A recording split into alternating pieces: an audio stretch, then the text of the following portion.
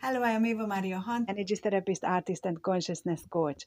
I created this video series to show you what coaching sessions could be about when you are working with me. This very first one is about being a sensitive, intuitive, or an empath. Now, you might not even know that you are one of those. So, how can you recognize it? You possibly are very um, sensitive, and people may think this is a negative trait about you. You could be feeling very deeply, and you might be feeling like this is a curse. You fear maybe overwhelmed in crowded places. You could be all right for an hour in a shopping center, but after that, you don't understand why your mood shifts and you just feel really bad.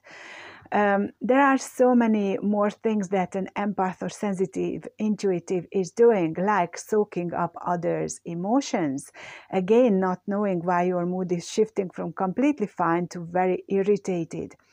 And um, when you are living with someone, whether it's a romantic setting or in a family or just with uh, mates, you could be completely molding into someone else's energy field and losing yourself, feeling very uncomfortable because you really truly are a hermit. You love your own company and you need from time to time me time more than anyone to relax, recharge, and uh, just uh, enjoy again to be who you are.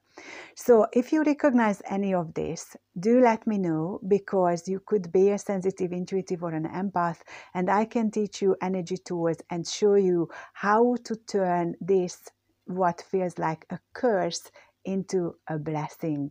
I can't wait to connect with you. Take care. Bye for now.